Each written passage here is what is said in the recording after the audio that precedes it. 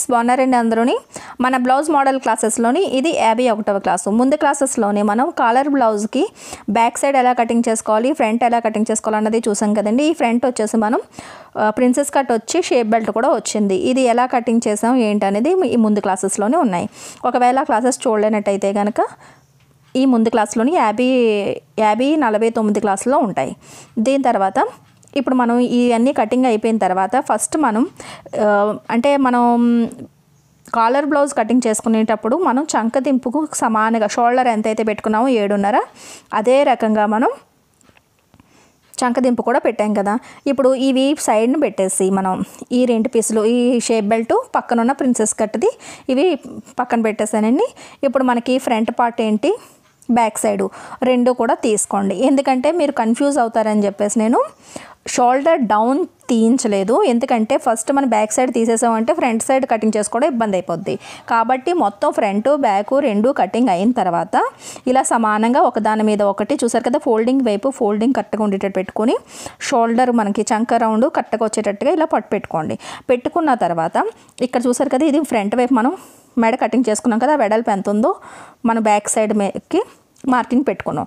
పెట్టుకుని అక్కడి నుంచి ఇటువైపు చంక వైపు భుజాల వైపు ఆరెంజ్ కిందకి డౌన్ చేయాలి. డౌన్ చేసి ఈ మెడ వెడల్పు దగ్గర నుంచి ఈ ఆరెంజ్కి ఇలా క్రాస్గా డౌన్ తీయాలి. బోట్ నెక్కి కాలర్ బ్లౌజ్ అంటే బోట్ బ్లౌజ్ కటింగ్ చేస్తున్నప్పుడు కాలర్ బ్లౌజ్ కటింగ్ చేస్తున్నప్పుడు ఇదే తేడా అండి. బోట్ నెక్కి ఏంటంటే మనం చంకదింపు ఆరు తగ్గించి పెట్టుకుంటాం. ఇందులో సమానంగా పట్టు పెట్టుకుని షోల్డర్కి ఇప్పుడు క్రాస్ తీసుకోవాలి. ఇలా అరేంజ్ మనం తగ్గించుకోవాలి. ఇక్కడ మెడ వెడల్పు దగ్గర చిన్నది ఇలా కట్ చేసుకోవాలి బ్యాక్ సైడ్ది. కానీ అక్కడికి రాదండి. ఎందుకంటే ఫ్రంట్ వైపు మనం స్టిచ్చింగ్ చేసినప్పుడు పావించు బయటికి వెళ్ళి ఇంకా లోపలికే వెళ్తుంది. అది తర్వాత చూద్దాం. ఫస్ట్ ఇలాగ మీరు షోల్డర్ డౌన్ చేసుకోవాలి. షోల్డర్ డౌన్ చేసుకున్న తర్వాత బ్యాక్ సైడ్ చంక రౌండ్ని ఎంత ఉన్నది ఏంటనేది మనం ఇలా రౌండ్గా ఇంచు టెప్తోని కొలుచుకోవాలి. ఈ ఆమ్ రౌండ్ అనేది కొలుచుకోవాలి. కొలుచుకుంటే కనుక నాకు పదిన్నర వచ్చింది. ఈ పదిన్నరలోంచి ఒక ఇంచు తగ్గించేయాలి. తగ్గిస్తే తొమ్మిదిన్నర వచ్చింది. అంటే మనకి హ్యాండ్స్ వెడల్పు మనం ఫోల్డింగ్ చేస్తున్నప్పుడు తొమ్మిదిన్నర ఇంచులు వెడల్పు ఉండాలన్నమాట.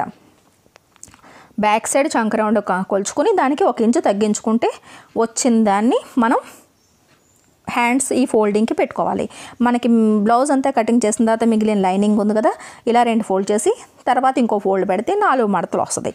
ఈ వెడల్పు తొమ్మిదిన్నర ఉన్నదా లేదా అన్నది చూసుకోవాలి. నాకైతే ఎనిమిది పావు వరకే ఉన్నదండి. మనకి ఇలా రావలేనప్పుడు ఇదే రెండు మడతల్ని ఇలా మళ్ళీ తిరిగేసి ఇలా పెట్టారంటే కనుక ఇలా ఒకవేళ పొడవు అయిపోయింది అనుకోండి కటింగ్ చేసేసుకోండి. ఒకవేళ పొడవు సరిపోవట్లేదు అనుకున్నప్పుడు ముందు మడతెట్టినట్టుగానే చేసుకుని మనకి మొక్కలు అతుకులు వేసుకోవాలి.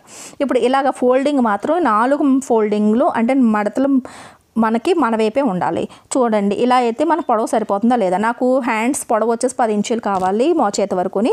ఒక ఇంచు కలుపుకొని పదకొండు ఉందో లేదో చూసుకోవాలి. నాకు సరిపోయింది. ఇప్పుడు లైన్గా ఇక్కడ కటింగ్ చేసి తీసేస్తాను కన్ఫ్యూజ్ లేకుండా ఉంటుంది. ఇప్పుడు మళ్ళీ ఒకసారి ఫోల్డింగ్ చూపిస్తాను. చూడండి. ఇలా హ్యాండ్స్ని మనం ఇలా పెట్టుకున్నప్పుడు చూసారు కదా ఇవి రెండు మడతల కింద ఇలా ఉంది లైనింగ్. దాని తర్వాత ఈ రకంగా ఫోల్డ్ చేసుకున్నాను. ఇలా ఫోల్డ్ చేసుకున్నప్పుడు నాలుగు మడతలు నా దగ్గరకు ఉన్నాయి. నాకు ఆపోజిట్లోనేమో ఓపెన్ ఉన్నది కింద కూడా ఫోల్డింగ్ వచ్చింది. ఆ ఫోల్డింగ్ తర్వాత కటింగ్ చేసేసుకుందాం. ఏది ఏమైనా సరే మన వైపు మాత్రం నాలుగు నాలుగు మడతలు ఉండాలి. అంటే రెండు మడతలు ఉంటాయి ఫోల్డింగ్లే ఉండాలి. ఓపెన్వి ఉండకూడదు. ఈ రకంగా. ఇలా ఫోల్డింగ్స్ అయిపోయిన తర్వాత మార్కింగ్ పెట్టుకోవాలి. మార్కింగ్ వచ్చేసి మనం చంక రౌండ్ కొలుచుకున్నప్పుడు పదిన్నర వచ్చింది కదండి దాంట్లో ఒక ఇంచు తగ్గిస్తే తొమ్మిదిన్నర వచ్చింది. తొమ్మిదిన్నరకి మార్కింగ్ పెట్టుకోవాలి వెడల్పు అనమాట అంటే మనం నాలుగు ఫోల్డ్ కూడా తొమ్మిదిన్నర వెడల్పుని ఉండాలి. పైన ఒకటి కింద ఒకసారి మార్కింగ్ పెట్టుకుంటే ఇలా తిన్నగా గీత గీసుకుంటే వెడల్పు ఉంటుంది. అంటే ఫోల్డింగ్ నుంచి ఓపెన్ వైపుకి మనకి దాన్ని వెడల్పు అంటాం. పది ఇంచీలు మనకి చేతి పొడవు కావాలి. చేతి పొడవు మీకు ఎంత కావాలన్నది కొలుచుకోండి. నేనైతే మోచేతి వరకు ఎంత కావాలన్నది కొద్ది మోచేతి కొద్ది పైకి పది ఇంచీలు కావాలి. దానికి ఒక ఇంచి కలుపుకొని పదకొండు ఇంచీలకి నేను మార్కింగ్ పెట్టుకోవాలి. కాబట్టి నాకు సమానంగా మార్కింగ్ పెట్టుకోవాల్సిన అవసరం లేదు. కరెక్ట్గా సరిపోయింది.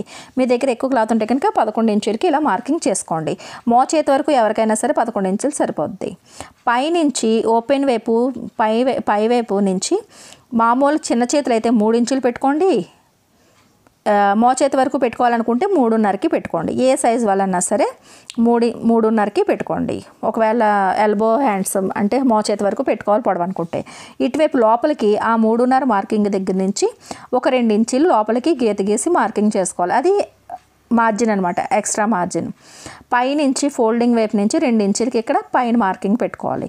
ఇప్పుడు ఈ రెండు ఇంచీల మార్కింగ్ దగ్గర నుంచి ఇక్కడ ఈ ఇక్కడ మనం ఇలా మార్జిన్ ఈ రెండించీలు ఇక్కడ మార్జిన్ నుంచి ఇలా ఈ రెండించీల వరకు ఇలా మార్కింగ్ ఇలా రౌండ్ తిప్పుకోవాలి. మనకి చేతి షేప్ ఇచ్చుకోవాలి దీని తర్వాత హ్యాండ్ లూజ్ ఎంత అనేది చూసుకోవాలి. చాలా సింపుల్ అండి. రెండు కొలతలు ఉంటే సరిపోద్ది పొడవు. మనకి హ్యాండ్ లూజు హ్యాండ్ లూజ్ వచ్చేసి పన్నెండు. పన్నెండులో సగం ఆరు. మీ చేతి లూజ్ ఎంత అయితే దానికి సగం చేసి మార్కింగ్ పెట్టుకోండి. పన్నెండు ఇంచులు మొత్తం రౌండ్ లూజు అందులో సగం చేస్తే ఆరు. దాని తర్వాత మార్జిన్ రెండించులు. ఎప్పుడు కూడా మార్జిన్ ఇంచులు చొప్పున వెళ్ళారంటే మీకు ఎటువంటి తేడా రాదు. ఈ ఇంచులు ఈ చివరి నుంచి ఈ చివరికి ఇలా మార్కింగ్ పెట్టేసుకోండి. దాని తర్వాత ఈ మార్కింగ్ నుంచి ఈ మార్కింగ్కి ఇలా మార్కింగ్ పెట్టేసుకోండి. గీత గీసేసుకున్నారు అంటే కనుక మనకి హ్యాండ్ షేప్ వచ్చేసింది కదా ఇప్పుడు కటింగ్ చేసేసుకోవడమే. ఈ రకంగా. చేతులు మీ ఇష్టం అండి పొడవు ఎంతన్నా సరే పెట్టుకోవచ్చు. ఐదు ఇంచులు ఆరు ఇంచులు పొడవు పెట్టుకోవాలనుకుంటే కనుక కింద డౌన్ మూడు పెట్టుకోండి. ఇలా ఎల్బోల కంటే మూడున్నర పెట్టుకుని ఈ రౌండ్ తిప్పుకుంటే బాగా వచ్చేస్తాయి. ఈ కింద నుండి ఫోల్డింగ్ ఉంది కదా అది కూడా కటింగ్ చేస్తాం. ఇప్పుడు మనకి లైనింగ్ పీస్ మొత్తం నేను ఒకటి పావు మీటర్ తీసుకుంటే నాకు ఎంత పీస్ మిగిలింది లైనింగ్. ఇప్పుడు ఫస్ట్ మనం బ్లౌజ్ కటింగ్ చేసినప్పుడు ఫ్రంట్ పార్ట్కి షేప్ బెల్ట్కి రెండు పీసులు కటింగ్ చేసాం కదా ఇప్పుడు ఇంకో రెండు పీసులు కటింగ్ చేస్తే దలసరిగా ఉంటుంది.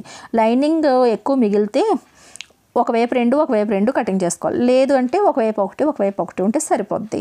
ఇప్పుడు ఈ స్ట్రైట్గా ఉన్నది మనం లైన్గా కటింగ్ చేసుకుని అది నడుం బెల్ట్లకి యూజ్ చేసుకుంటే సరిపోద్ది నడుం మొక్కలకి. చేతులకు కానీ నడుముకి కానీ ఇప్పుడు మనకి ఈ బ్లౌజ్ క్లాత్ ఇంతే మిగిలింది మనకి. ఈ మిగిలిన క్లాత్లోని ఇలా ఫోల్డ్ చేసుకుని పెట్టుకుంటే పొడవు సరిపోవట్లేదు.